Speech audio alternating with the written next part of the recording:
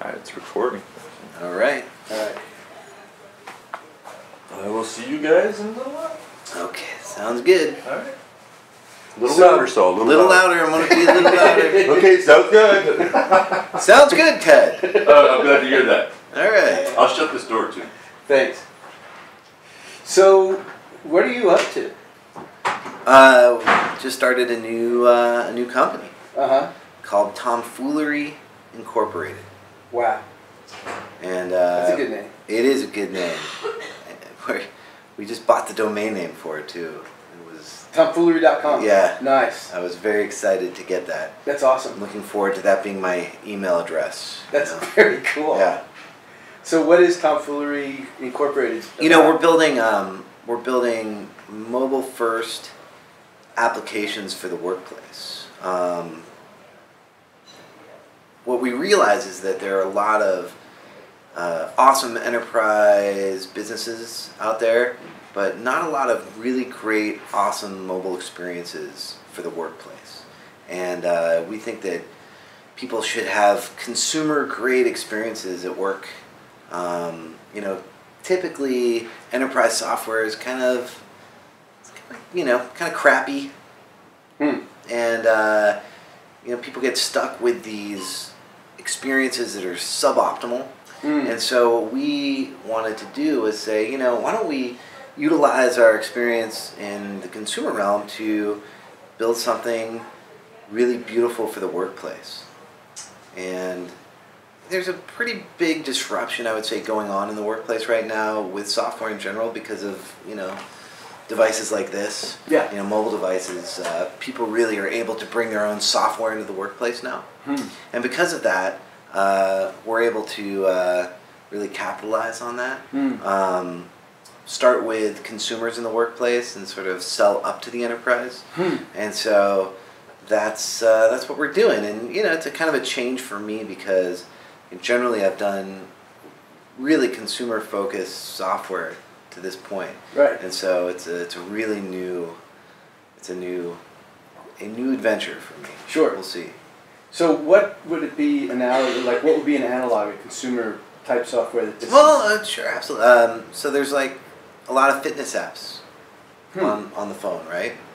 Tons of them, and they're awesome. There's like Game Fitness, and there's things like the Nike Fuel Band, and there's all these awesome apps about getting in shape. But none of them are made for the workplace. Huh. None of them, and a lot of people spend a lot of time organizing and coordinating walks at lunch and you know yoga and the workplace is a prime place Hmm. for fitness and there's no there's no apps for that right so those are the sort of apps we would build I see. um, the closest thing to what we're building first is probably something that is a lot more like Yammer, um, which is uh, sort of Twitter for work.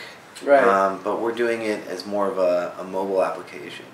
Um, maybe a more beautiful mobile product experience than, than Yammer's giving people. So we recognize that work is a very social place.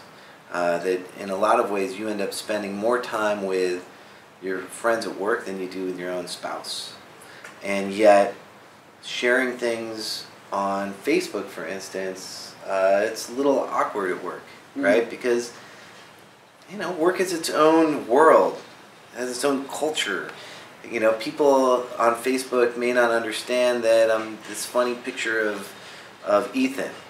And, you know, where at work, everybody will understand that immediately. Huh. And so we think that there's a real opportunity to build uh, basically a, a social network at work um, based on teams that you work with. So that's kind of how we're, we're starting it. And then we hope to build other applications and allow other people to build other applications on top of it. I see. And will the uh, the core product, the one you're talking about, that is sort of like a Facebook for work, is that going to be Tomfoolery? Is that the brand? No, uh, it's going to be called something else. We don't we don't know exactly yet, but it's Uh-huh. going to be called something else. Tomfoolery is the name of the company, and Right. so in a lot of ways, you know, we want to build um, a lifestyle brand for work. Hmm. We just think that that's an interesting, you know, why why does why do why does work software and why does work stuff always have to be Boring. boring and Right. you know it's I don't think it has to be. Yeah. I think that you know in this world where you know we we have in our fingertips now the tools that we need to make work awesome. And so that's what we want to do, make work awesome.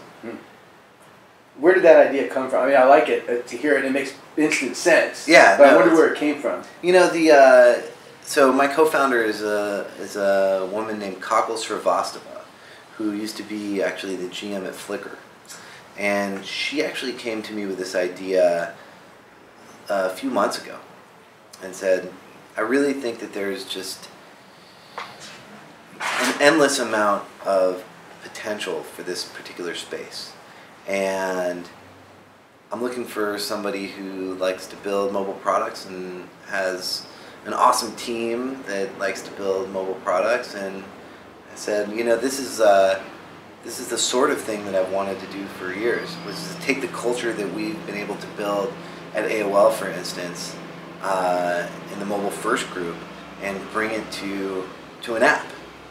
Because we actually had a very effective um, fun, irreverent team, and I want to bring that spirit to to a to a mobile app for other Mhm. people at work. Right, right. Because I think that culture building at work is it's as important as anything else you're going to do at work. People that are happy are way more effective. Um, they get way more done, uh, and they're just overall they're just more successful. They're also more loyal to the place they're working if they're happy. I mean, you know, it's funny. Uh, I think that the enterprise sees worker bees as robots, you know, or as worker bees, right? Mhm. And people are not robots. People are people, and people have emotions, and they have, you know, um, they have emotions. They're Right. emotional, right? And Right, so, right. if they're emotionally on the happy side, they're going to stick around. They're going to do better work. There's some statistic that uh, people who have a best friend at work or like a really close friend at work um, are 60% more efficient. Something Sure. ridiculous like that than people that don't. And if you think about it logically, like, wow, that totally makes sense. I buy that 100%.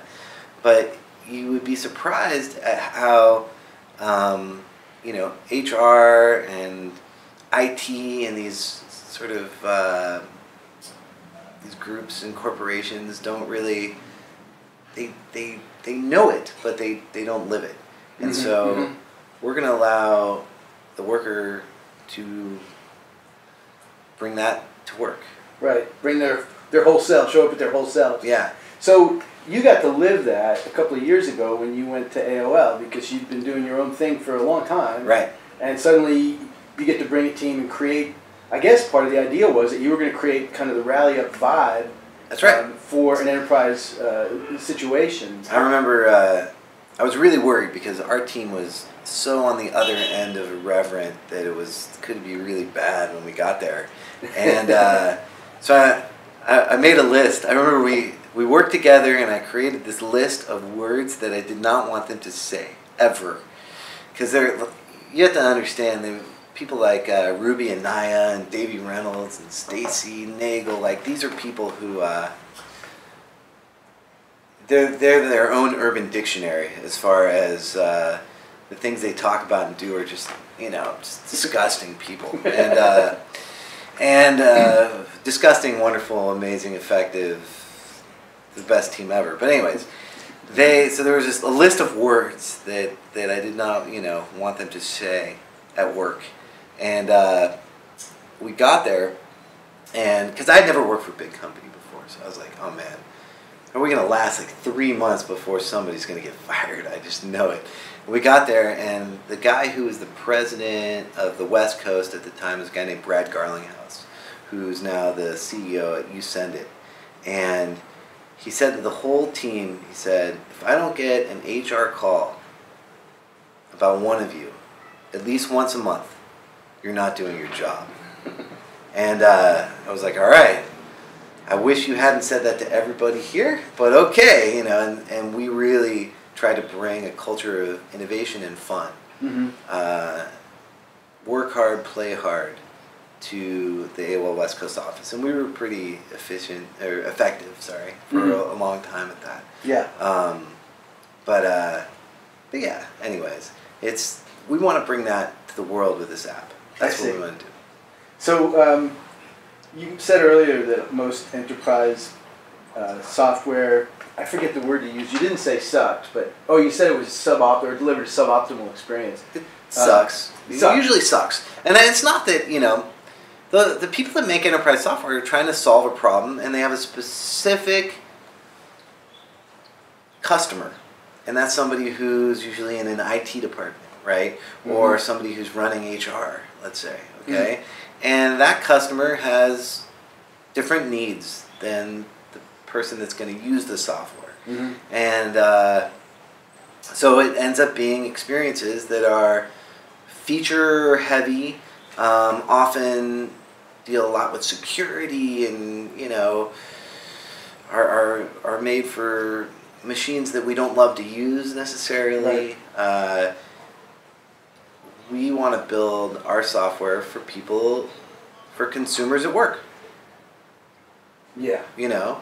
And w- will you be marketing to them, or Yeah. will you be mar- so you won't be marketing to the companies? You'll be marketing to the work. You know, I think eventually, if we ever want to get paid for what we do, we have to sell up to the enterprise, right? Right. Um, but I know that if we can be efficient at creating software that people want in the workplace, we'll find our pathway to monetization. Right. Um, whether it's administrative controls or allowing HR to push a, a poll into a team or, or into a company.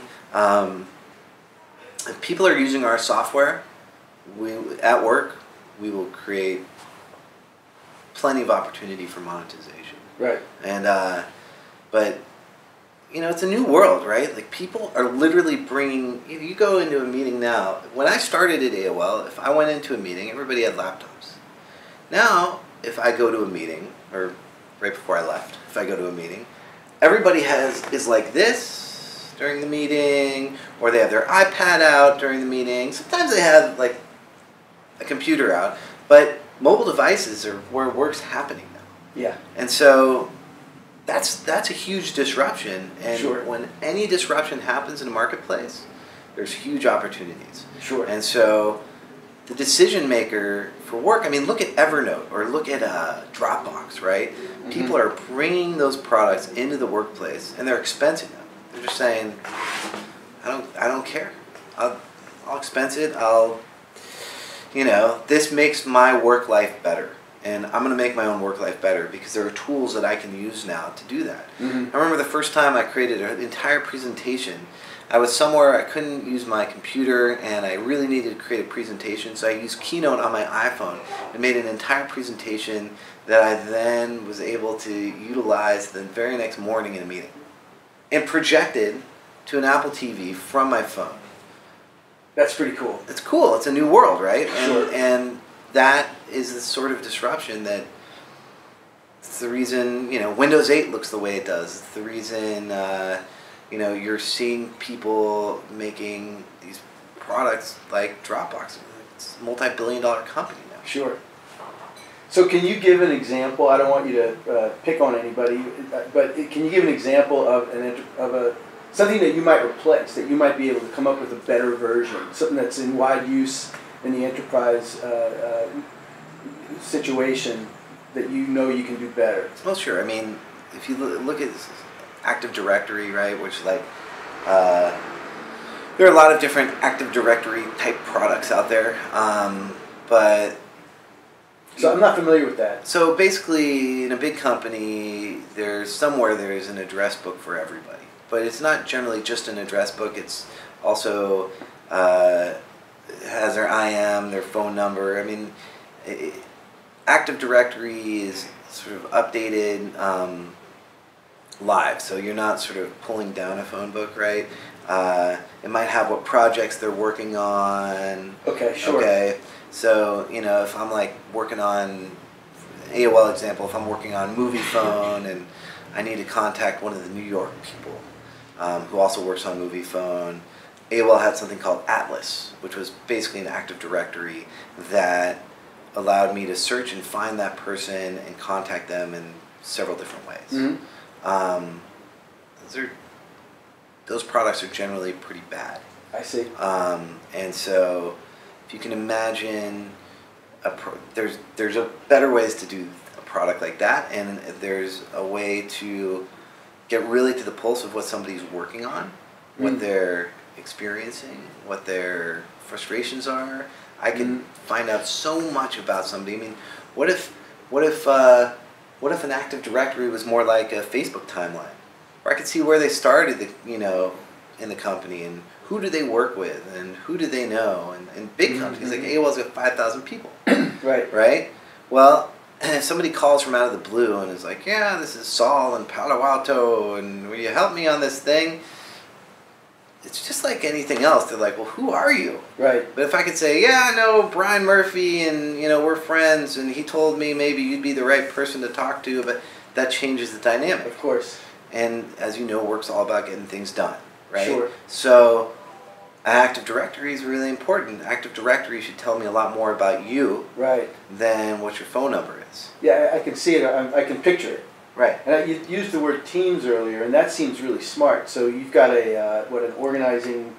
What would you call that? So that's the- organizing. pr- that's the organizing principle of our first piece of software. Will Right. be making your teams more fun and Sure. surprisingly useful. Right. Yeah. Surprisingly efficient. If I can say. I mean, imagine just Facebook for a second. If I could say on Facebook, hey, this is what I'm working on today, and just my friends at work could see that. That would be useful. It would be great for people to know what I was working on right then and there. Sure. Or if I had a question, like people start at companies all the time, right? And they're like, "Uh, where do I find the, you know, the copy machine and what's the code for this and what's the code for that? If I could just put that into a feed, capture that content, Right. and you know, reutilize that content, like there's just so much we could do. Sure. It's like a mini crowdsourcing the company. Absolutely, or or just like I can't tell you how many times I'm trying to find somebody, literally like physically find somebody. I wish I could just know: are they in a meeting?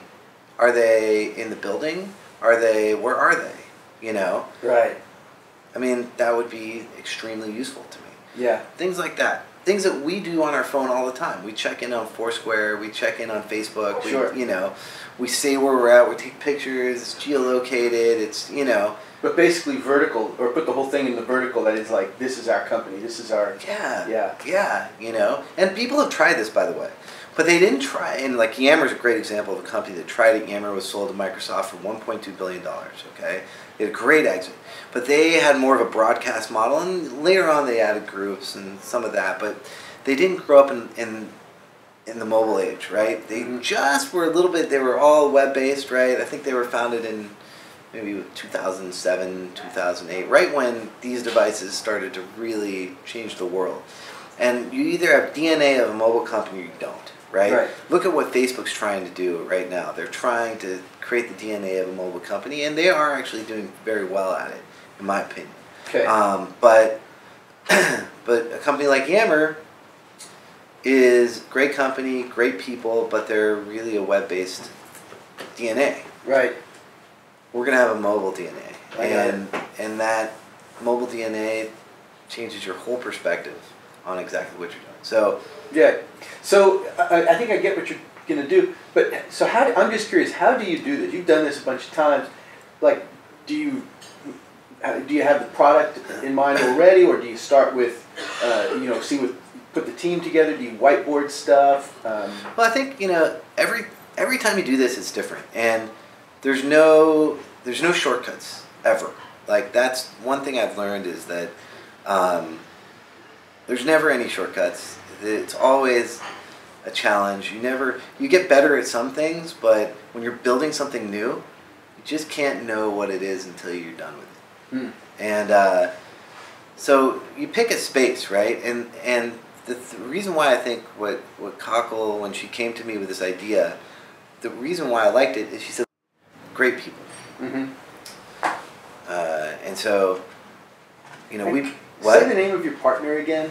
Kakul. It's K A K U L Okay. Srivastava, and that's S R I V A S T A V A, Just like it sounds. just like it sounds. Okay. um, so yeah, so what is her background again? I don't mean to interrupt. No, you, no, it's okay. She, uh, I mean, her background, she went to MIT and, you know, was into like biomed and s- sciences and went to uh, business school at, at Berkeley at Haas. And then was like, I love this consumer internet thing. And ended up at Yahoo for like eight years. And uh, how do you how do you know each other? through a mutual friend Okay.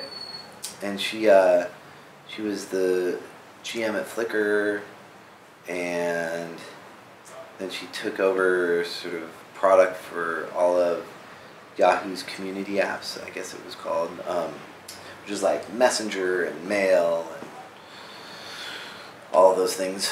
And then she went on to do some a lot of consulting, basically for Mhm. a while, and then she popped out and wanted to do this. Right.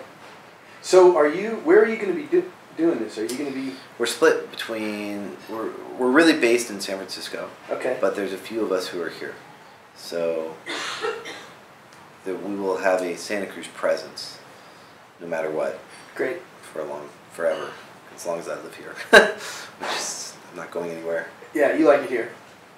So what was happening on Westcliff last week? So we had a uh, basically we had a there was a couple people from San Francisco who were going to come down here.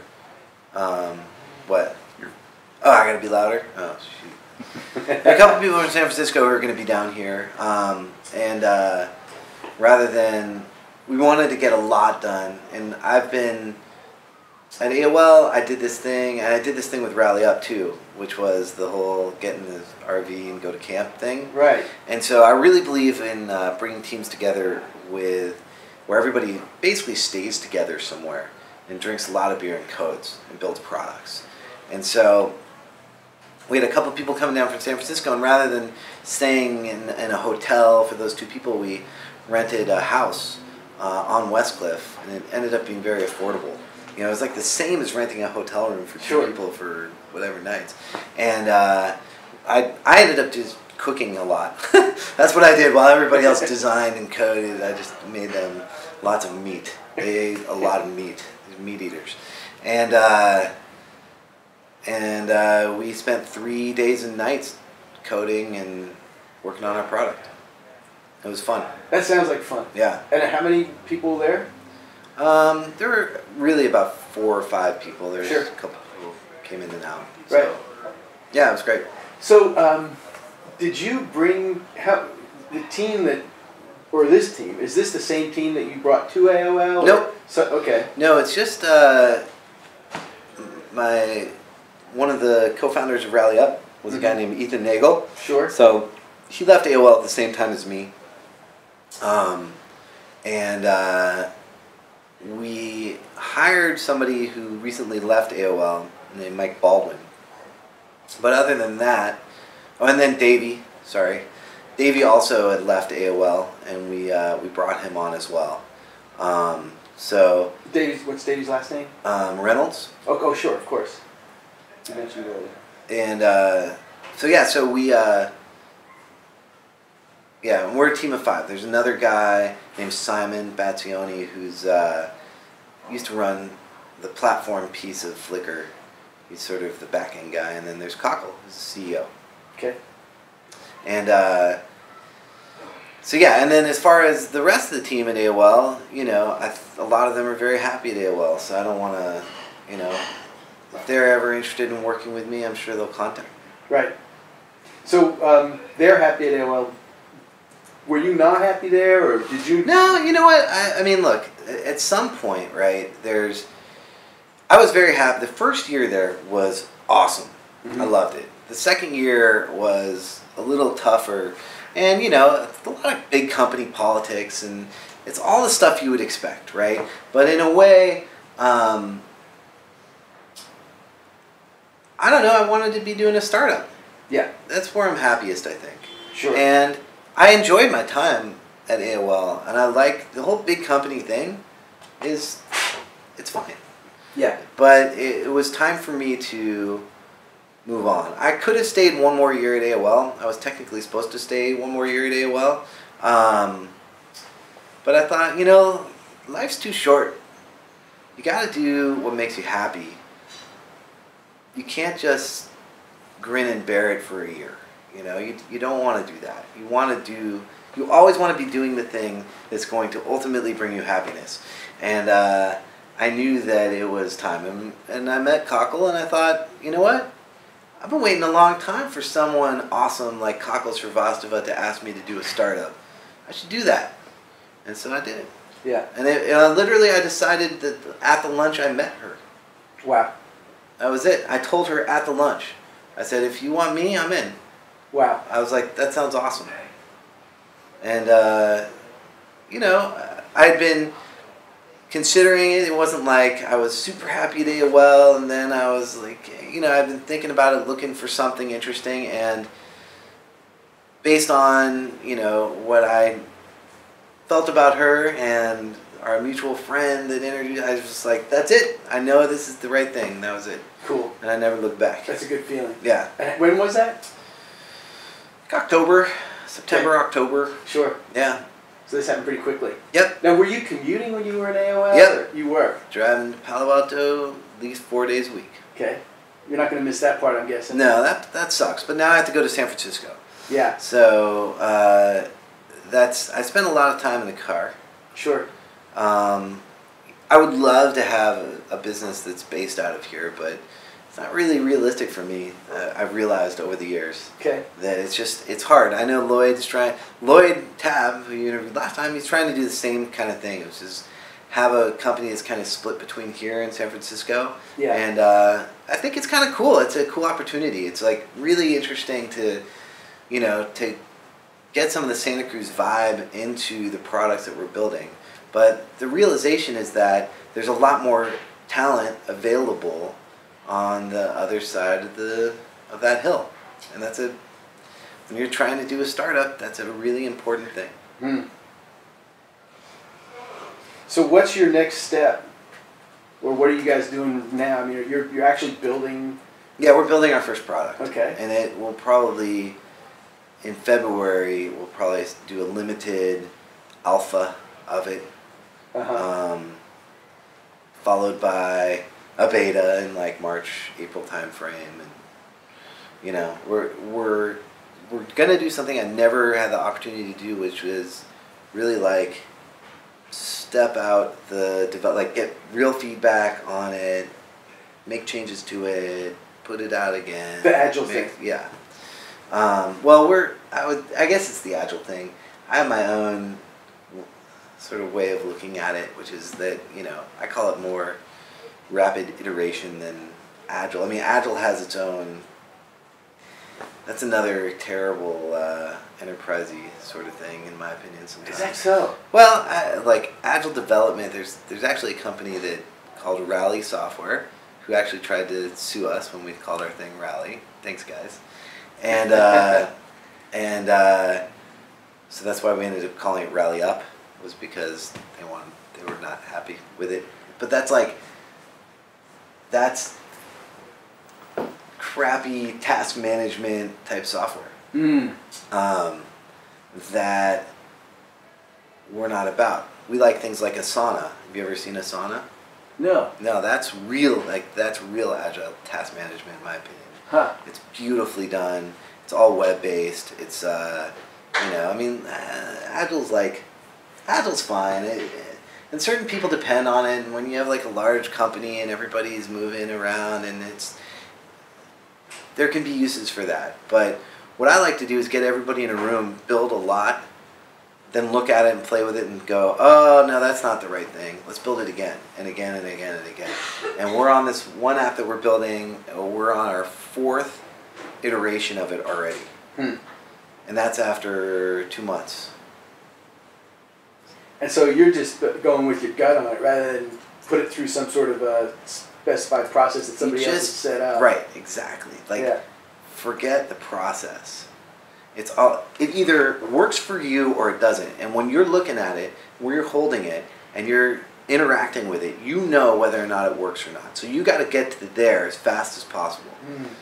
Because you may invest months in creating a, a product requirements document and getting all the design right and every you know, and you are losing time because when you're at the end of that thing, it might not work, and if it doesn't work, you're screwed because you just wasted three four months of development, right? Mhm. and now you have to change the whole thing. I'd rather spend two two weeks to four weeks developing an initial product that's broken, doesn't look right, and go, oh, okay, now I see what we have to do, and we do it again, and we do it again and again and again. That's what I like to do. Fun. So, do you have a guesstimate about which iteration? Like, if you've already been through four and you're gonna release alpha sometime in February. We got it now. You've We- got it now. Yeah, we got it now. Got it. we know what to do now. Yeah. Can you demo it? Mm-mm. No. I would demo it for you, but Yeah. I wouldn't demo. No, I it. meant for me. Yeah, I mean, not for your article. Right. Oh, okay. Yeah. So I, I mean- can't describe what it's doing. Of course not, No, because it's gotta be still a month out. Yeah, it's at least a month. It's Yeah. probably February. Sure. But I'll show it to you, obviously, Okay. if you'd When like the to camera's off, we'll, we'll, we'll do that. Yeah, that's yeah. Cool. I mean, it's it's a cool product. Uh, you know, it needs a lot of work still, but uh, we're getting there. Nice. So, I, I want to come back to tomfoolery. Yeah. Like, where does that originate? Where did you? Is that? Well, actually, you know, funny enough, it originated from Kakul because they, in job descriptions of Flickr, uh, they would end every job description with, uh, you know, likes a little tomfoolery in the office or something like that. You know, they wanted a certain type of person, okay, at Flickr, who was culturally in line with the spirit of the team, which, you know, they didn't just want, they wanted people who like to have fun at work Hmm. and uh, and you know I think that's a perfect work brand, tomfoolery, Sure. because what it, what it says is we're about fun, we're about work. Our products will say that, but we're about fun at work. We're about the thing that nobody talks about at work, which is that work should be fun. Work should be social. Work should make you feel good about yourself. Work should do all of those things Right. shouldn't just pay the bills. If it's just paying the bills and you're not happy, then you should do your what you can to change that situation. Sure.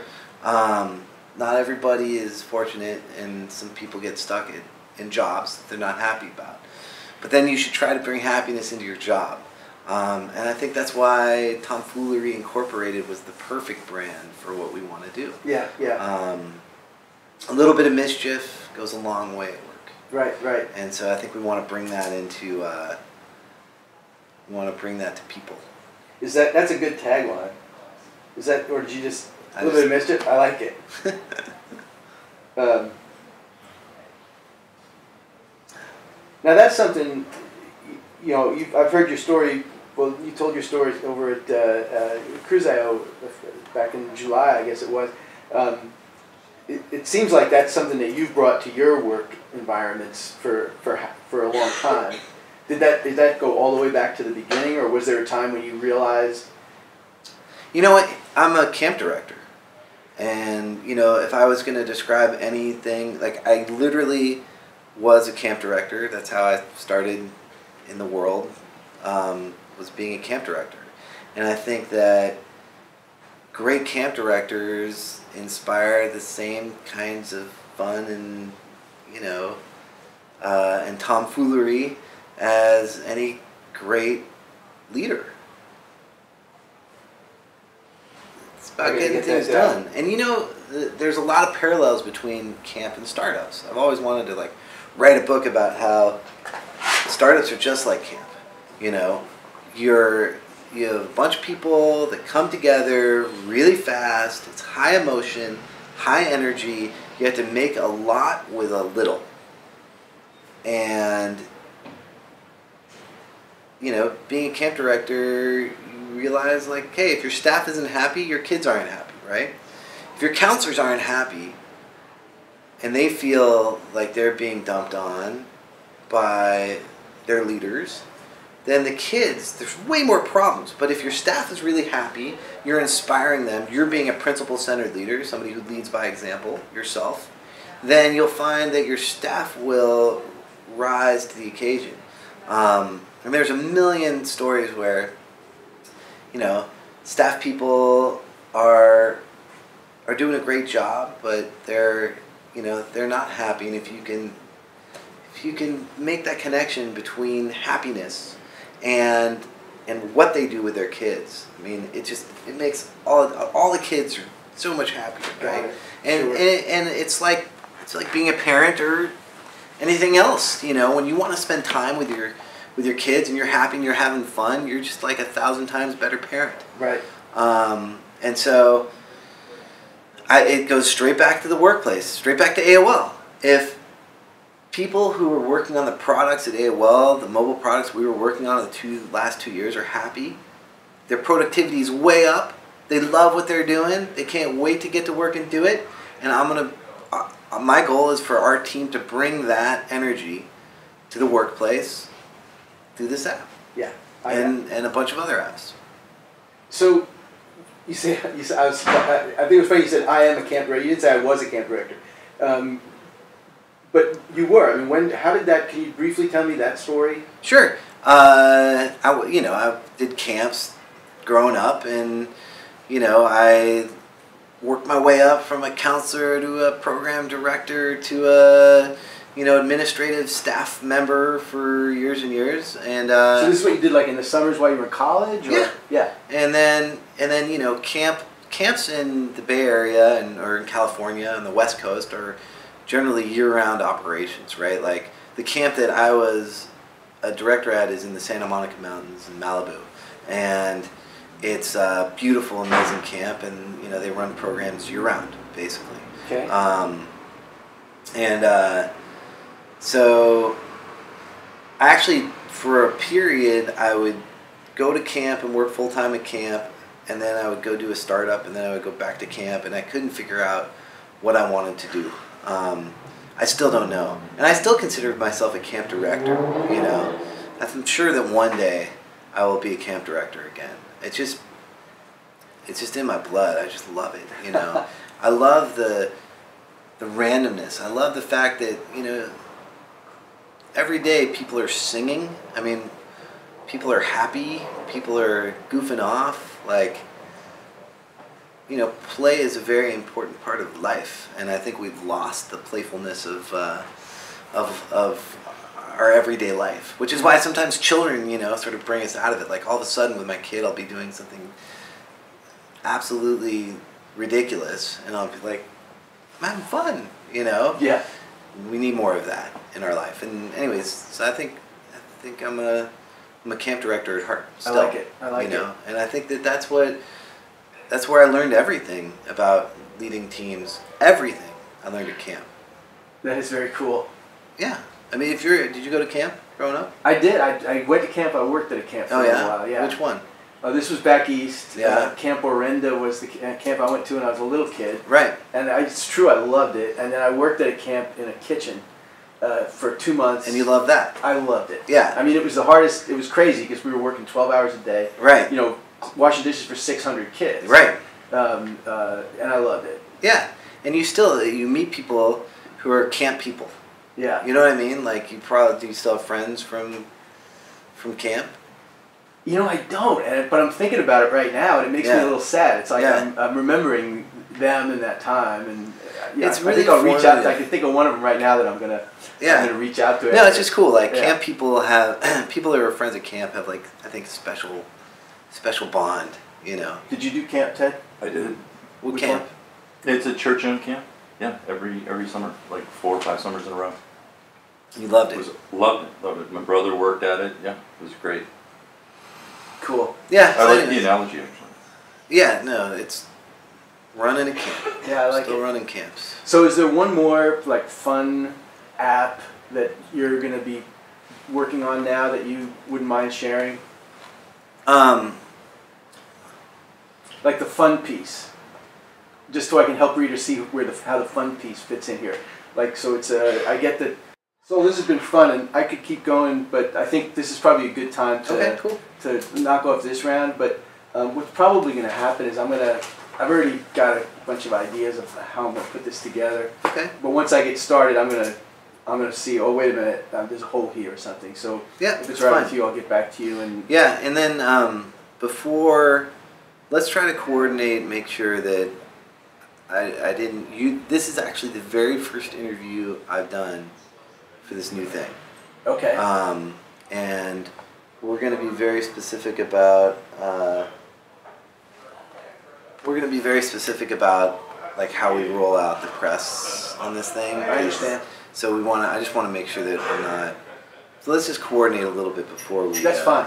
I'll, I'll go through and give you like you know some highlight. I'll tell you, Yeah. oh, I got this part, this part. Is this right? Is that right? Yep. And uh, definitely when, the, when it comes to numbers, I'll check in with you and see what's changed or what how much of that you want to share. Yeah, that'd be great. All right. Cool. Yeah, cool. Thanks, man. It's always fun to talk about myself.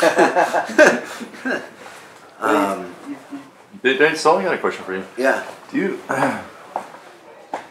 I can totally like I know we did this shoot already, but um, you know I don't know what you're thinking with the thread and the theme. It's always nice to do a photo shoot after you have the article. You know what I mean? Yeah. To create the visuals after you have the, the content. Um, do you have like like an old camp director's outfit that's kind of kitschy? Yeah. You know, that, probably. like something like uh, what was that movie? It was out recently. Um, Bill Murray was in it. Um, Norton, I think, about this camp, this little kid, this girl. Oh, and they hooked sure, up on sure, this sure, island. yeah. Oh, that was so good. That's the moonrise. sunrise. Yeah, Nice. yeah. So Yeah. like, like you know, the camp director Ed, Ed Norton, right? Remember? Yeah. The Boy Scoutish. You know what I Yeah, mean? Do you do you have an outfit like that, dude? I mean, like, or it could be rent one or something like No, that. I- you know, that's a very. No, I've got. I got what you want. You do? Yeah, I have like a. I might want to do another shoot. did you see the photo? That I I did, and I loved it. I love it that too. Yeah, I know, and- but I'm just hearing So what this have you got? story. You know, Well, I just have like a. You know, I have like one of those old vests with like a thousand pockets on it. You know Yeah. what I mean? Like, yeah. yeah. Whistle? If there, if like, yeah, there'd be like a whistle. If there's like a funny little hat, you know, like, oh, I've got plenty of those. and like, you know, like in, in a scene, like even if you're outside, like you're a trail master kind of a thing, you know, I don't know. There, there could be something fun there. Compass, you know, I love the like, you already did. Well, love the dude- we Oh, dude, and. I've got a bunch more, dude. That are that are that are rad. Yeah, dude. Wait till you see them. It's just, I don't know what you're thinking for the article, and if it has this Oh, of course, it's camp gonna have to. director It's theme running through it, you know, Yeah. maybe. Dude, I want to. I want to work with you on your book. I love this idea. I got a ghost. I got a buddy that's looking for, for a gig too. Oh yeah. To go to. Yeah. Uh, You got plenty of things going on. yeah, I think my book would be about one chapter long. But yeah, this part is about the, the camp director. It, it makes all the sense in the world because it just seems like, in a way, what happened is, you know, you took your whole self that you've been, you know, besides developing a bunch of products, you sort of built, uh, uh, you know, a, a skill set that you were bringing to all your different things. And then you took it over the hill and went to work for one of the biggest companies in the space, uh, where you figured out a way to help them do what they're doing a lot better using your stuff, right? Yeah, I mean, way. you know, I used to take uh, 40, so I think we did it five times while I was at AOL. We took like 40 engineers up to camp, to that camp in Malibu, um, and had these like crazy sessions for a week where we would just drink and code, you know, and it was epic. I mean, fucking epic, you know.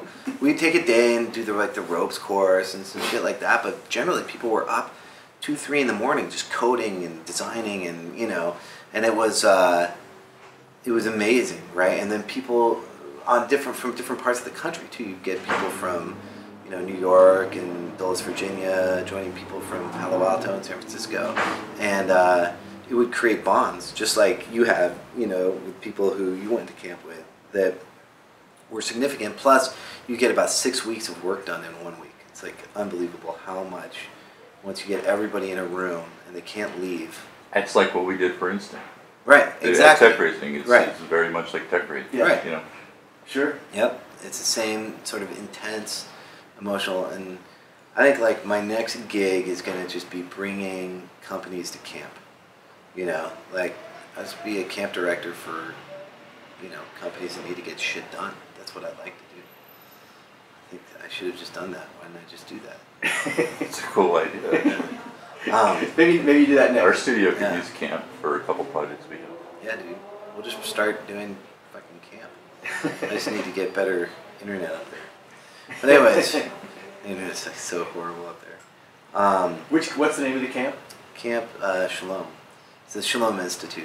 It's a Jewish camp, Sure. Cool. and uh, it's great. You know, you have a chef who just you know you don't worry about meals. You walk to the dining hall for meals, and it's all just taken care of. And everybody, all they have to do is focus on having fun and coding Wow. and bonding and hanging out, and it's great. And there's little rooms for everybody to stay in, and you know, it's fun. So the people that you've been working with or known at Camp Shalom for it sounds like most of your life, Yep, they must. What do they think about the fact that suddenly you're showing up with a bunch of like? they love it. Yeah, I bet. Uh, they love it. I mean, so first of all, it you know, it pays very well. I mean, it's so cheap for it. if AOL wants to get a bunch of people together, they've been paying for a hotel room for every single person, meals for every single person. This ends up being like hundred and fifty dollars per person.